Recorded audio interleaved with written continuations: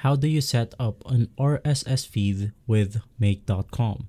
Now, basically, if you're tired of manually handling repetitive tasks and wish you could automate workflows without writing a single line of code, well, today we're diving into Make.com. It is a powerful automation platform that promises to streamline your business and personal tasks with ease. Now, before we get started, all of the mentioned tools will be on the description box below, so make sure to check it out. Now, Make.com, formerly known as an Integromat, is a visual automation platform that allows users to make or connect different apps and services to create workflows, also known as scenarios. Unlike traditional coding-based automation, Make.com uses a drag and drop interface making it beginner friendly but also powerful enough for advanced users. Whether you're automating email notification, syncing data between different tools, or managing complex business processes, Make.com provides a flexible way to make things happen without manual effort. So right now we are inside our make.com account right here and once you have logged in into your account you will go ahead and see your own organization, your team, your scenarios which is going to be your automation process right here. You have your template, connection, webhooks, keys, devices and basically more. Now let's just go ahead and say that I want to go ahead and transfer some of the automations right here to some of my clients or to my organization. Now I'm inside the templates for make.com and I'll just go ahead and choose a random automation process right here. Now since our focus is with the RSS application, you can just go ahead and search RSS on the search bar right here. So you can just go ahead and click on your application and right after it will narrow the search to the RSS application right here. So let's just go ahead and say that you want to go ahead and connect RSS feed with your Facebook page. They have something like post new RSS feed items containing a specific word to a Facebook page. So you have a lot of templates that here that you can go ahead and use. You also have something like the send telegram messages for new articles from RSS feeds or if you want to narrow it even further, you can go ahead and follow up with the second application. So let's just go ahead and say that I want to integrate my RSS feed to something like Google Sheets. So I'll just go ahead and search Google Sheet right here. And right after, it will go ahead and take us to another results where we can see RSS feed alongside with Google Sheets. So you have something like add new RSS article to Google Sheets as row, trigger new articles from RSS feed and add them to Google Sheets and more. Now, if you want to go ahead and use some of these templates, you simply want to click on it, click on start guided setup, and below that you also have something like create new scenario from template. In our case, let's just go ahead and skip this to go ahead and take us to the dashboard where we can edit out the template. Now from here, we can now go ahead and customize this the way you want to. So you can click on the RSS feed right here. You have something like your URL, maximum number of returned items and more. For Google Sheets, you have another one. And so if you want to add another module, you simply want to click on the plus icon.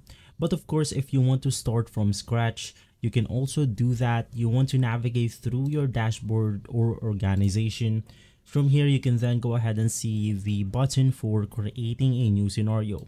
So you simply want to click on this button and it will take you to a blank sheet on where we can start creating our own scenario. Now from here, you simply want to go ahead and search on your application. In our case, it's going to be RSS, but you can also go ahead start on something like Google Sheets, OpenAI, and more. Right after that, you have specific functions like watch RSS feed items, trigger when a new RSS feed item is posted, or you have something like actions that retrieve RSS feed items. In our case, we are going to click this function right here. And right after that, you want to go ahead and connect your URL. You have your date from day two, and lastly, the maximum number of returned items right after customizing or adjusting the properties of your RSS feed items, you simply want to click on the save button. And so right after to add another function, click on add another module. And from here, if you want to integrate RSS feeds with something like Google Forms or Facebook pages, you can just go ahead and click on it. And here we have functions that we can go ahead and choose from. For example, list videos, get a video, upload a video, and more. Now to make everything simple, I'll click on list post right here. And of course, right after that, you can then go ahead and connect your Facebook account to make.com. Click on create a connection, click on save, and it will basically open up another URL right here on which we can connect our Facebook account. And right after adjusting your scenario, below that you have your controls. You have the run once button. You can go ahead and use this button right here to test your scenario Beside that, you have the save button in order to save this whole scenario right here. You have your scenario inputs. You can edit out the input structure right here. Of course, if you want to go ahead and add another module, you can go ahead and do so. So it will go ahead and look something like this from RSS feed to Facebook page to JSON. Now heading over to the next input, you have your scenario setting. You have your own notes right here, your previous version, you have your auto align, and lastly, the most useful, in my opinion, is going to be this button right here because you can import your own blueprint, export your blueprint, and explain flow. Now, beside that, you have your flow control, you have your tools, you have the text parser, and you have your selected tools or application or API keys right here you have your RSS feed that you can go ahead and add function to, you have your Facebook page, and lastly, you have JSON. And also, if you want to go ahead and modify these modules right here, all you have to do is to simply go ahead and right click on them. From here, you have your setting, run this module only, add error handles, rename this specific module right here, clone, copy module, add a note, and lastly, delete a module.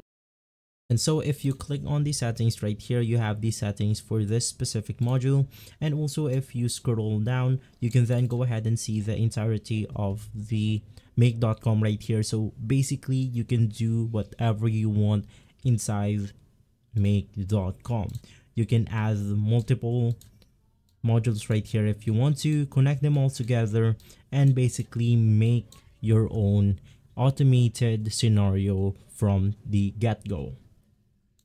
And so you want to make sure that you save your scenario right here in order to make sure that you don't lose any progress on your scenario build up on or scenario building.